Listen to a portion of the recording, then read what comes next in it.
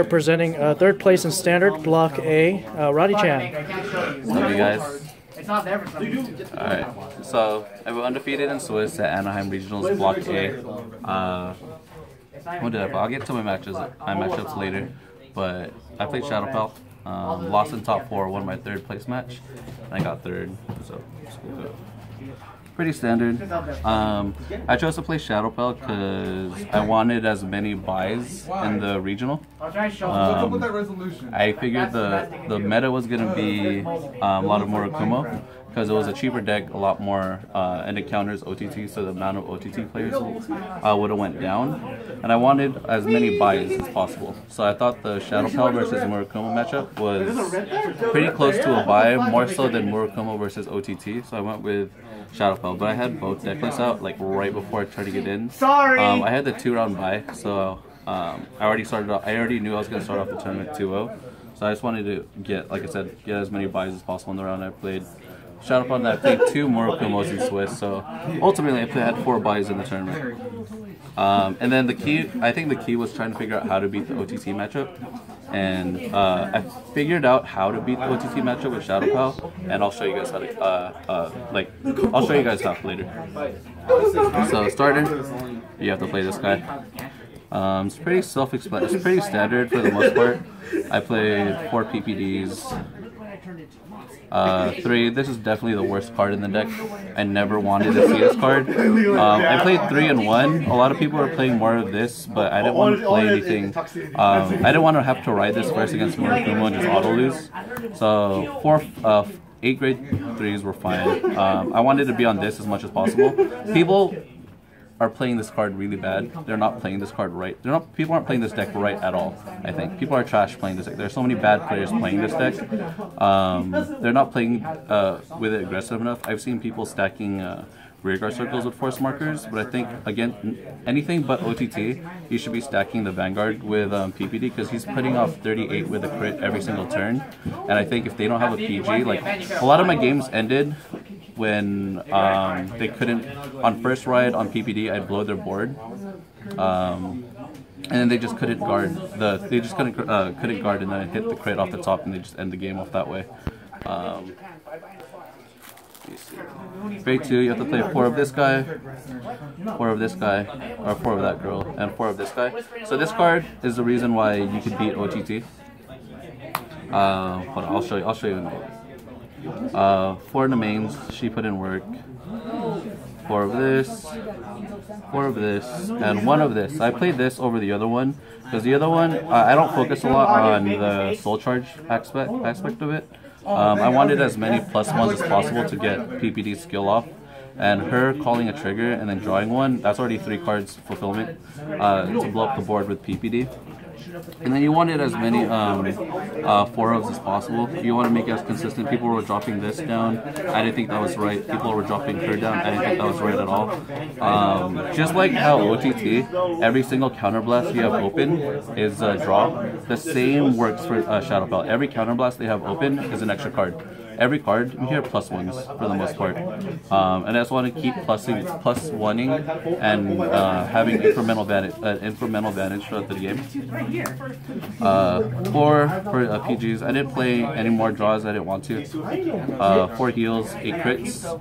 Um, people were playing five draws. I think that's not the right play. Not only are you decreasing the your shield value in the deck, um, it's just more often than not with the main, I'd be calling perfect guard, uh, perfect guards, especially against like um, Kagero and the mirror because it just doesn't do, it doesn't do as much um, going forward, or against like not the mirror, um, the Excel matchup. Uh, and I thought that was perfectly fine.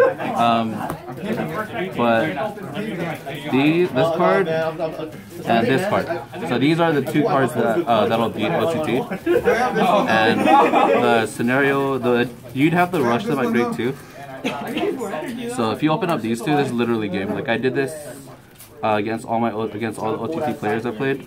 When I was able to get that combo, I was my grade two turn would end up looking at something like this. You tap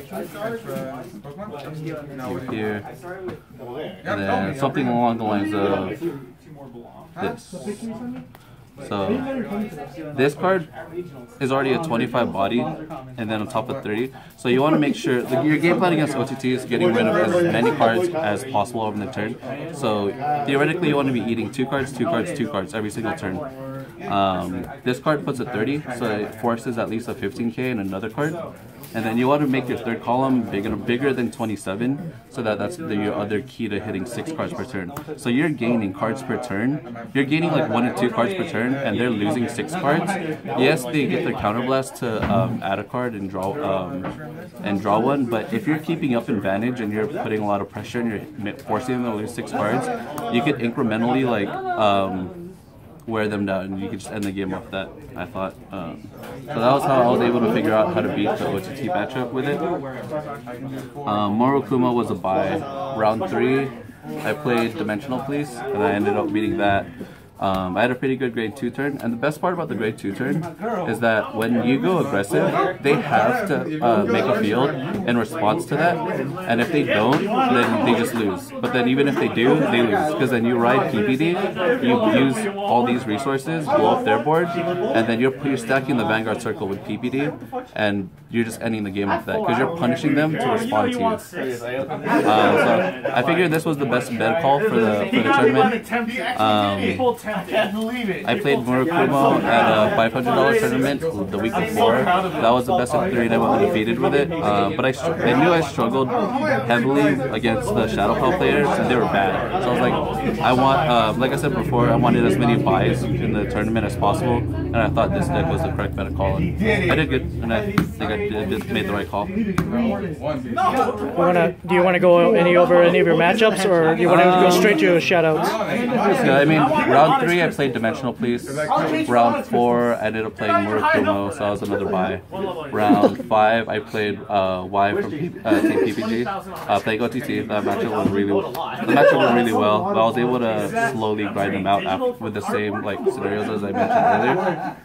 Round six, I played someone from my locals. Uh, he was playing Kagero. Round seven, I played the Mirror. Um, beat that. Round eight, I played Murakumo. Uh, and ended up first in Swiss in top eight. I played uh, Murakumo top, my top eight matchup, won that. Um, I lost the Mirror. Um, he saw PPD and I didn't. Uh, and he was able to gain more advantage than I could. Um, so, yeah, that's all. Shout outs to uh, Game Zone uh, where my locals where I play at here at San Diego. Um, a lot of players here, top 8 at the event. Evo got 8th. Um, have, my other friend Nick also got 8. My other uh, friends got 6 playing Kagero. And also, uh, we have another player that went 10th playing Aqua Force too. So shout out to the BDE boys. Um, and that's all. Y'all see me at Worlds. I'm to take it home. Take it home San Diego. Alright, see you guys.